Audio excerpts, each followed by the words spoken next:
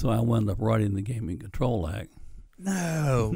and So so that's that kind of got me started that direction.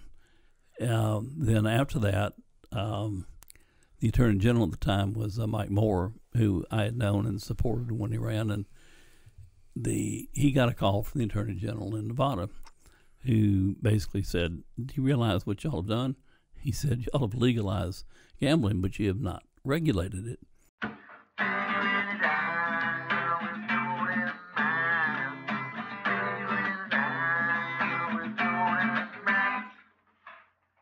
All right, guys, welcome to Kathy and Susie's Kids. Um, uh, Jourdan Matthew's not here; he's taking a nap, I think. Um, I am here with uh, Scott Levanway. Is it Esquire? How do you say that? Uh, well, I never used the Esquire, but yeah, that's a, That's kind of cool, though. it is. It's kind of Um, so let's let's just start off back. Um, what inspired you to go to college to study law? Study law. Um, I had had been in the military after finishing undergraduate school, and I was trying to decide what I wanted to do. And I, I so I applied for law school, and I applied for uh, graduate school in psychology. wasn't really sure which one I was going to do. I couldn't make up my mind. Um, I had gradu- I had ma- majored in psychology as an undergrad. My dad taught psychology at Millsaps, so I was kind of attracted to it. Uh, but the law was out there too, so I, I was uh, uh, accepted to both graduate school and law school up at Ole Miss. My wife at the time uh, was um looking for a job, and she didn't get one as we came back home from being in the military. So I went out and got a job teaching junior high mathematics in Florence, Mississippi. What? Yeah, Tenth grade? uh, seven and nine. Uh oh. Okay, and but I had a had a wife and a child, and I was making five hundred dollars a month. About halfway through the year, I said, "I got to get a trade." so so I started law school, and so I finished up uh, nighttime law school, um, um, and and worked throughout that time um, full time, and then went to school at night. Uh, so that's how I got the law degree. Um, but the, the the real career change was not law. The real career change was when I got into the political side of it. I was clerking for a judge after I'd graduated, and somebody said they're looking to hire some attorneys over at the House of Representatives, and um, said, "Really?" I said, "Well, you know, I don't have a regular job yet, and so let me go see." So I went over and interviewed. They hired me on the spot. Started immediately. The session started in two weeks. Started drafting bills. Prior to that time, the uh, legislature had relied upon attorneys that were provided by the Attorney General's office, and they set up a desk or two desks actually outside the chamber of the House and the Senate. So there were four attorneys that just took requests out in the open, everybody walking around. And so they decided that they needed to start hiring their own attorneys and put them in a room where you could go in and have an attorney client conversation. Um, so they hired, I think they hired either six or eight of us. I'm trying to remember, probably six. Um, And, and we're talking this in the seventies. yes. Okay. Yeah. Just trying to picture in my head, like Yeah. Yeah. Um, so, yeah, I've been doing this 40 something years now. So just back it out. Yeah. They get you back down into the 70s. before cell phones. Yeah, you're right. yeah, yeah. Yeah. No, actually, I had a cell phone um, after that. Yeah, that's true. The first cell Yeah. phone I got was was one of those stock phones Yeah. that they that they mounted on the floor Oh yeah. Yeah. Yeah. of the car. You I've, know? I've seen them in cars. I've Yeah. never owned one, but I've seen them in cars. You know, Yeah. you bought a Mercedes back then, and it came with a Mercedes edition. yeah, no, this one I actually put. I had my little um, um, uh, Toyota Camry, Yeah. So you had so there's four of y'all that were picked. That's what yeah, saying? or six or whatever. Yeah. So we, they worked us through the session, and then at the end of the session, they kept two, and let the others go. And I was fortunate to be selected to stay, um, and so I wound up spending, I guess, a total of four years uh, working just for the House of Representatives, um, doing legislative drafting work, uh, working with different committees, uh, just getting to know that process and falling in love with that process. I have a huge amount of respect for the people that serve in that body. Uh, I know a lot of people have different opinions about the people that serve. We all have opinions. Everybody, everybody has opinions. Yeah. That's true. But the one that I have about this is that I have a tremendous respect for the people that are willing to serve and sacrifice because people don't realize the sacrifice that they go through financially and otherwise. It's just, it's it's tough. Go come to town for three months, four months, however long. This last year, it was like every other week they were in town. Yeah. Back home, they got a business they're trying to run. They got a family they're trying to take care of. The kids they're trying to raise. And you got to go through the whole passing bills and going back and forth. How you going to get the fund in? Right. I mean, All it's- yeah, yeah.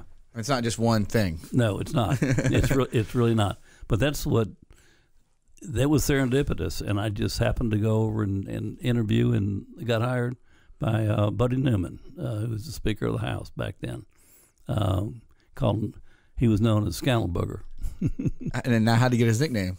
Like, Now that I don't know. Okay. he, he he had Scannelbugger before he was Speaker. I do know that when he got elected Speaker, all the his supporters said, "Now, now, buddy, you have to be known as as Mr. Speaker now on. It's a, it's a title, and then and you've earned it, and and you need to do that." No, no, no, no, no, no. I says, "No, no, I'm I'm I'm just Scannelbugger. You just call me Scannelbugger." I mean, come on, man. That's kind of cool, though. You know. yeah, it really is. But anyhow, so yeah, he finally became Mr. Speaker. Uh, so in your um, government relations, lobbying, um, the things that you've done, uh, you've seen a lot of faces. Oh yeah. You've seen a lot of hats change. You've, I mean, that's a lot. Like, you know, w- w- how long was he speaker for? Oh, Buddy was speaker probably either three or four terms. He was there for 12 years or um, maybe 16. Really? Uh, historically, our speakers stay for a long time. Once they get elected, uh, they're they usually stay until they're older. Uh, Junkin was before him. I think Junkin served twenty something years, um, and then Buddy Newman, and uh, then we started rolling into Tim Ford and, and other people that we've got. And our current speaker now is uh, working on twelve years. He's um, uh, so it's um, you know it, it's there's value in continuity because the historical knowledge that you have is valuable in that process. Uh, you know, Mississippi actually at one point in time tried to do term limits on the members, and it was something that was sweeping the country and it was passing everywhere. And, and the people of Mississippi didn't see it the same way. They defeated the constitutional amendment like 80 20. Uh, uh, said, no, we want people that know what they're doing, that have been there, seen it, and done it. I think my big thing with term limits is just because I'm so tired of watching Nancy Pelosi. Oh, yeah. I Oh, mean, I'm now- sorry. I'm sorry. I mean, I just I've, I've tried to like for some of the- I- I've tried to like listen to her speech. She don't speak. Like if you dive into her like talking and stuff, she triple she, she like trips over words and stuff, and it's like it's more of we're doing stuff, but it's not like talking to the people. So that for me it was always like okay, this is when you start feeling like they got some they're kind of tripping their words and they're not there. I mean, I've watched some of this stuff lately with some of these older people in office that like are passing out. I mean, there's a whole like meme set up now where you like on live TV, these people are watching people sleep. You know, and it's it's focused on them. Like it's just like you're watching them, everybody sleep. And I think you know, being 34, you're like, you know, this is politics, and that's Yeah, yeah. I, I will say this: it's different on a national level than it is on a local level. yeah, In that there's so much money involved on the national level. So I mean, uh, Speaker Pelosi has been there for so long in her district, and uh, she has more money than anybody else will have that tries to run against her. Uh, it's very difficult to defeat an incumbent uh, representative or senator in Washington. It's much easier in Mississippi, we had a late night session. Oh, let's just say 20 years ago uh, in Mississippi, and the media, somebody took a picture at midnight when they were at one of these late night deadlines, and you had to be there. Committees were meeting, last minute stuff on on conference reports, which is the end of the session when you kind of reconciled everything.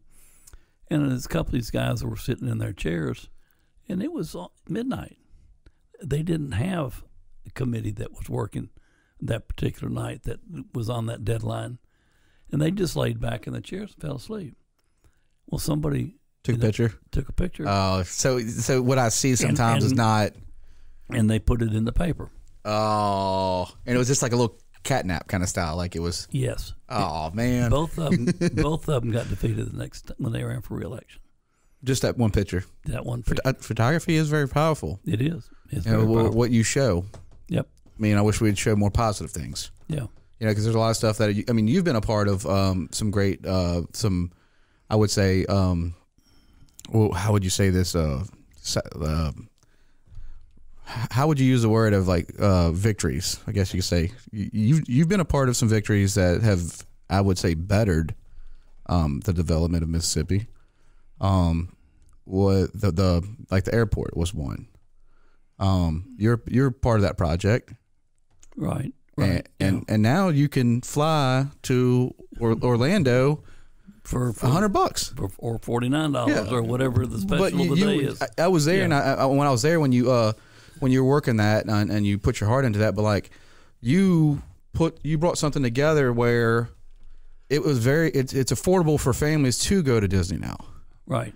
You know, it's, you, you know, it's simple. It's simple things that you don't realize. Yeah. That you know, it was kind of cool that you did that with Gulfport. You you you you got that plane in there, and they went from now you go to Gulfport to Or- Orlando. Now you can go from Gulfport to Austin, and that puts us on a map because most time is is like you got to fly out of New Orleans if you're going to get on a big flight. You know, and, and to bring things like you know Right. a one. Uh, I don't like the the delays. I don't like all that. I'd prefer not to. I, I want to go straight there and straight back. Yeah. Oh, I know. I, nobody wants to. Is there any uh, other big things that you can remember, like that you've been a part of, where you're like, "What? Probably, um, I've been involved with a lot of different things that I'm that I'm proud of. Uh, everything from getting the sales tax exemption for the sale of Girl Scout cookies. That's dope." you know, it was like it was like a you know, it was almost the- you know they weren't even really paying you anything. It was like it's just something that they asked you to do and and needed to get done. You know, How much money do you save by doing that over the years? oh I don't know, Wow, I don't know. It's it's difficult all them thin mints I these kids these kids go out and try and collect seven percent. You Yeah, know, yeah. You just have Ma- a, it's mathematics. Yeah, you're yeah, like, it's so the box right there. Then it's going to be, you know, Right. I want I want five boxes, and they got to. Yeah, I, Yeah. I understand yeah, that. Yeah. So I mean, there's little there's little things like that, um, and then there's you know there's different um, uh, issues. Probably the biggest thing that I've been involved in is um, is gaming. Um, the um, I had I worked for the legislature for four years. In the last year that I was there, I worked for one legislator solely, um, um, an attorney from up in the Delta from Greenville. His name was Sonny Meredith, and he was um, uh, he was the smartest guy that I ever met uh, when it came to the legislative process. Uh, people play chess; they play two dimensional chess.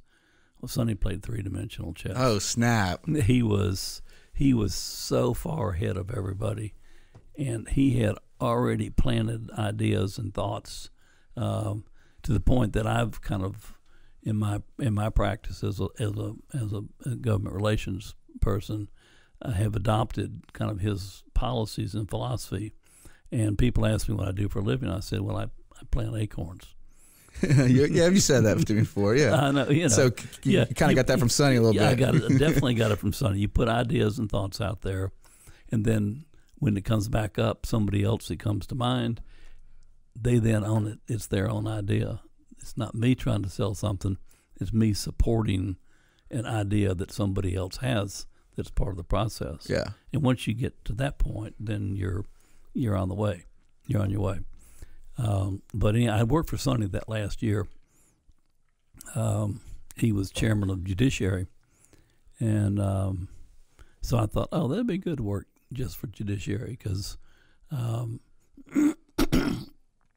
with my background, I thought, well, you know, I'm gonna do, I'll probably do criminal defense and sanity stuff, and then I learned about the law and M'Naghten rule, which basically in Mississippi there is no insanity defense, if you will. But uh, so anyhow, I worked for Sonny for a year, just him. Um, then I went to work for an attorney in town, and uh, one of the reasons that he hired me was because he had a little bit of lobbying type work in his in his practice, and uh, so that way I could do that as well as be an associate for him. Uh, so at the end of the session, I was up at the Capitol. Again, I talked about this before, but the end of the session is what we call conference time. Uh, They committees meet, three from each Yeah. side, sit down, work out the details, come back with something, and then both sides have to vote on the final version.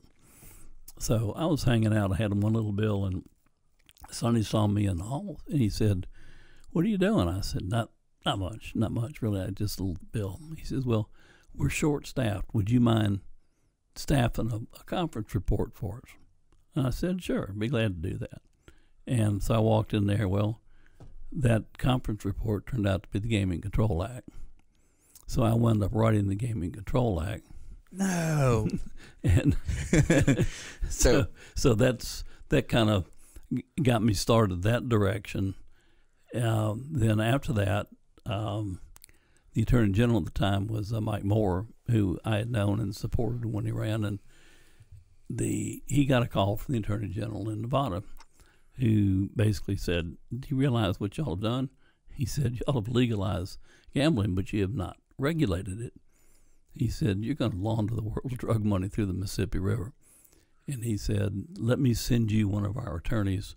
You give me somebody in Mississippi, and they can sit down and write the regulations." Um, so Mike called me up and asked me if I would be willing to do that, which I did. And none of this was paid stuff. It was just somebody asked you to do it. Get your and- foot in the and you- door. and you do it. You know. it's, it's like everybody should know. Like that's. A, I mean, this is. I think even with me, like I mean, you, you have an opportunity. Sometimes it's not going to come in a paycheck.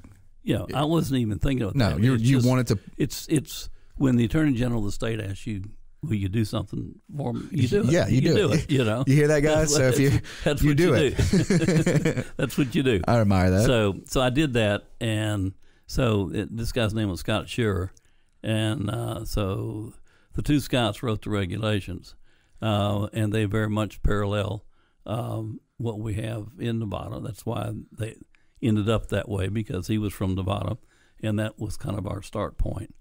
Um, and we had done it right in that we didn't have a limited number of licenses like Louisiana. They only had like 15 licenses. Well, that means that that opens it up for the potential um, for um, undue influence. People trying to. is only 15 in Mississippi. If you are a, a qualified person, you got the finances in the background, you're going to build a casino. We can have as many as we want if, if you come in and you qualify.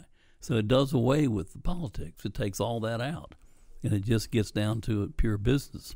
And if you put somebody out of business, then it does. That's the businesses open and fail. Restaurants do that all the time. We don't really want casinos to do that, and we fortunately have not had a great deal of that, but we've had some of it. But anyhow, so I wrote the, the Gaming Control Act. Then I wound up writing the regulations, and then uh, I happened to get the first casino client that came to the state. and, and- who was that? Uh, that was Bernie Goldstein out of the Quad Cities. He had the Isle of Capri, and um, we first got him licensed in Natchez, and then he realized that he needed to be in Biloxi or wanted to be there. I don't blame him. and um, it was it was kind of sad in that we had gotten li- I'd gotten license number one in Mississippi in Natchez, and we gave it up, got a new license in in Biloxi, and they brought a riverboat down because he had some riverboats up there, and we just sailed right past Natchez and went around hooked up in Biloxi and opened up Were you there? Um, were you were you there the first day it opened? Oh yeah, absolutely. Eh, Who was um, Jamie Creel's dad? Yeah, Um, who's that? Uh, uh, Billy. Billy. Billy Creel. Yeah, yeah. really nice guy. I used to go down Uh, with my dad. Fabulous guy. He- yeah, Mr. Tourism. That is so cool. So you, I mean, how many pages?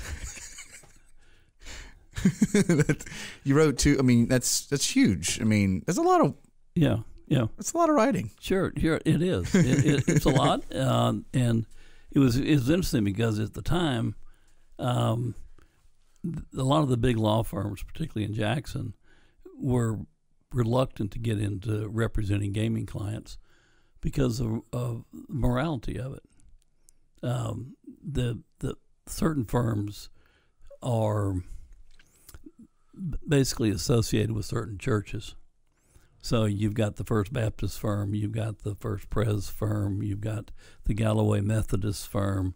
You know, you have all these that kind of identify with a particular church. Oh yeah, and they got rules on And- tattoo and- shops to having a strip club. So so they initially shied away from it, and that kind of left it open for a guy like me. It was we had a two man shop at the time, and we got involved with everything from helping run the campaigns to legalize it in each jurisdiction where they had to come up to then representing them um, and uh, getting them licensed and then representing them in the political arena and making sure that the industry was was protected in that in that manner. I probably represented probably a dozen different casinos um, during my career. that's insane. So I mean, that's I mean that's a huge story. So it's like because I mean, we have casinos here, and and and their their their money helps the community, and you see it in the roads. You Sure. s- I mean, I, you you see the development. Um, you know, uh, we just got off the uh, the pink dress run, um, with Les. Shout out to Les, John, Alicia, the whole team. But you know, we we've done the pink dress run in downtown Gulfport, which you know John's family has Island View Casino, right, but they are always supporting us. right, Rick, you know, his dad's always kind of when y'all going to give it up, kind of thing. You know, it's he's a very he's a father, and you know he's uh, he's a serious guy, but you know I, he he's definitely been proud of what we've accomplished.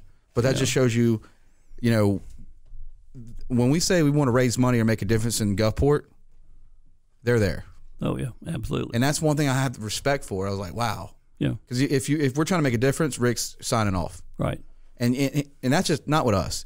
Let's look at the harbor lights and everything they contribute. You know, they're a big part of the harbor lights. Oh I know. So I they, you know, like when you drive by there and you're and you're seeing Jones Park, Island View's a big part of that. sure, And it, it, so you know, growing up, well, I'm born in '86, but I, I grew up going to the Lady Luck and watching the Dragon. You know, I grew up going to Grand Casino and the Play Center and the Boomtown, and you know, uh, I've but I've seen over the years how much nicer our roads are, the development, and you, I mean, it's money. it's it's very real money, and it's had a, a huge impact on the economy of not only the coast but of the state as a whole. Yeah. uh, and it's uh, helped to grow. In growing the the economy of the coast, it also grows the influence of the coast. Um, and the people on the coast are probably better represented politically right now uh, than they have been in a long, long time. But you're talking about uh, Rick Carter. Um, I represented Rick in the early days. Um, and in, in fact, he was on another show recently um, uh, talking about how they got their business established Yeah. and the, the history and all that on it. And uh, I was listening to it, and it's the first time I've ever been called a, a young whippersnapper. uh, but that's how Rick referred to me. Uh, they had um, they had the issue of the original boats doing cruises to nowhere, and they had the problem with it dragging and slowing down, and they had to go 12 miles out, and so they went to the legislature to try and change the law to allow them to only go out to the city limits, and that was 1,500 feet or yards, whichever that was. I don't recall which. And so they, and it was late in the session, and the deadlines had passed to get bills and all introduced. You can legislature has its own set of rules, and with a two thirds vote, they can change those rules and do whatever they want. So this required a two thirds vote, and so they had hired someone else to work on it, and they they just weren't quite just weren't quite getting there, and uh, they were represented at that time by uh, a friend of mine from law school, uh, Hugh Keating, who who brought them to town. They met with me and they hired me. Long story short, at the end of the day, we got that passed, um, and so that's why Rick Rick said this young whippersnapper because the other guy was an established, long time, Yeah. very successful lobbyist up there. There's no there's no feeling when you achievement though in, in this in this realm where you know like there's a way Yeah, sure. and you're gonna find that way. sure. You're not giving up. There's, You read every manual. Like I mean, you're it's, like it's, it is. It is. Yeah, I know. I know. I read manuals. Look, knowledge is power. In the in the process, when I meet new members come in, yeah. first thing I tell them is go read the rules. You got to know the Yeah, rules. know. It'll make you stronger and more powerful than the guy, Yeah. your desk mate, because if he doesn't know, I watched legislators that know the rules tie the legislature up such that they couldn't even adjourn with with with procedural type motions and things like that. Um, and it's very very powerful. Um, so I always knew the rules, and I also try and know everything there is to know about my client. And I also have a 24 hour rule. If I have a member that asks me a question I can't answer, I get them an answer within 24 hours. So it's all about information flow and knowledge and um, That's key. that, and it's never over. It's never over until it's over. The Girl Scout cookies, Yeah. I passed that as the last bill of the session on the floor of the Senate. They actually called a committee meeting in the back corner of the chamber in the Senate, met, brought that code section out, and brought it to the floor and said, if you amend it, it's dead.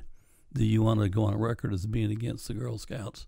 And I passed the bill. It was the last one. and They adjourned and went home for the year. That's sick. man. so I mean, that, that, and that's cool because I mean, I think I think anybody, it doesn't matter what career you're in, make more of an effort. It's kind of what Sure. your your secret is. Is well, I got a client. I'm going to learn everything about my client. I'm going to win. I mean, Sure. I mean, I've I've I've, I've always you know admired you through. Uh, he Scott's um, taught me about bourbons to cigars to um, understanding. He built this table. Yeah. So he's made this table, you know, and it's uh, every time I'm like, "Hey Scott, I'm starting a podcast." All right, what are you going to do? It kind of thing, and it's like, and and I have accomplished in this last ten months with me and Matt, and you've been a big support of it. But we're doing it, and we're giving a platform. It's similar to what you're doing, but we're starting to give a platform for people that can tell their story Right. you know, a, a person that can look up to you and and pull this video up and go, well, that made me feel better. You got people that come up to me and they give me a hug, and I listen to your podcast in a tree stand. It was awesome. Yeah. You know, and it's it's but it started with this table, and I said, you know, it's it started with the idea, and then let's just do it. You built this wall. You know, you did. I mean, you That's true. Yeah, we- we did that too. we built Yeah. it. So I mean, you've been a big part of this uh, of you know of of my ideas, and you know, all everyone want to just have a conversation and, and and give a platform. You know, we're going on like 43, 44 episodes, and it's just like I'm getting it. I'm getting why I'm doing this, and I hope you can you know see that now that yeah. it's like yeah, I do. or you can be like, hey, you know, because if you run into different media outlets, you're only going to get, like you said, that one picture. Some people have to take a nap. Some people are tired. They take one picture and it changes their whole entire life. And given this kind of platform where it's, you know, 30 minute segment, you know, and it's it's it's something that I'm I'm proud of. It's when I whether it's Ivan or John comes over or, or whoever I podcast with, it's you know, we took I always bring this up, but Dr. Sean Amusiel, you know, pharmacist, never wanted to be called doctor, gets off the podcast. He's like, I think he's podcast number uh, three. Gets off podcast now, people call him Dr. Amusiel. So it's like it's kind of that it's not Sure. right in the contracts, but you're you're giving that person a voice because the biggest things that, that I'm I'm learning about people is they're so quick to judge. And it's it's serious and it's and especially with a fast paced society. It's like you know, if you make that wrong post, you you know, if you, you if if you're having a bad day and you see somebody at a bar and you're just having a bad day and you and you come off a certain way, well, there's going to be 17 different versions of how you acted. It's not going to be one. It's going to be Yeah. well that story gets twisted in that story, and I, I think I'm very proud of what, what what me and Matt are accomplishing now. Well, it's all about perseverance and sticking with it. Yeah. My practice didn't grow, didn't happen overnight. It took me a long time to get there. Okay, and but it once it gets going, it does. When you had the, your first podcast, how many That was listeners? nerve wracking. How many listeners did you have? None probably. No, I mean, I've, Uh, you probably can go back and look at the records. it's the thing. Yeah. So I think our our first our first downloads. I think our first downloads we um, I think it's like 300 somewhere around there 400. And where are you now today? I mean, it's a lot more. Okay. So I mean, it's it's it's and, and no, we're just talking about this. So the thing is, what I'm learning about us doing the podcast is they discover us, and they're going back. So even if I don't podcast, Right. they're going back to pick who they want to pick because we have such a diverse group. Like it's, everybody's different. I mean, everybody from a nurse anesthetist to a graffiti artist. I mean, to a Yeah. football player. Tomorrow, I mean, like we're gonna have Justin on again. I mean, it's just one of the things. So yeah, you're right, and I just got to keep going with it, and I haven't going to give up on it. It's absolutely, it's so rare now, and I'll, I'll make a joke about it, but it takes this to have a conversation now. Like, you know what I mean? Like it's you by, don't. thi- by this, you mean simply the presence of being here, or presence of being here. yeah, It's like take the mics away, and we're just having a conversation. You, you're talking about things that you you've never talked to me about. Right, But these these mics allow us to do that, and that's something powerful. yeah, And then you've got a generation of people that really want to hear that. And um, well, like I said, this is part one. I would like to have you back on. sure. All right. Well, cheers to this, man. And we've been on this uh, Burble Bear. Uh, what was it? Uh, barrel bourbon. This is some good stuff. Yeah, I can attest to that. All right, guys. Well, uh, make sure you uh, follow us uh, on iTunes, Spotify, uh, Audible. We're on Amazon Audible now because, you know, uh, YouTube, Jourdan Matthew. Um, yeah, just give us a like, subscribe to our channel, and uh, we'll see you next time. Thank you.